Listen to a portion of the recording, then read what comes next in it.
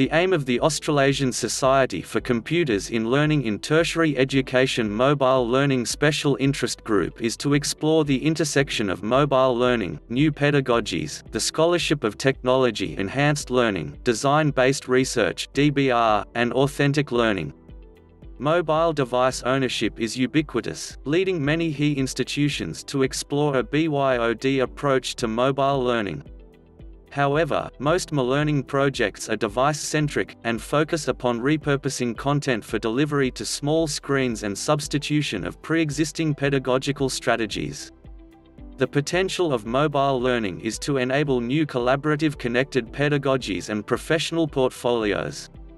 The ML-SIG will explicitly explore the boundaries of current knowledge and approaches to mobile learning, and develop a global collaborative network of mobile learning researchers interested in exploring and implementing the frontiers of mobile learning.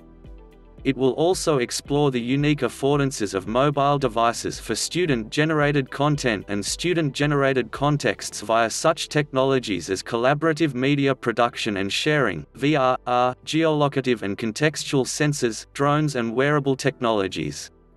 Mobile Learning SIG leader is Dr. Thomas Cochrane, Associate Professor, Technology Enhanced Learning in Higher Education, Centre for the Study of Higher Education, University of Melbourne.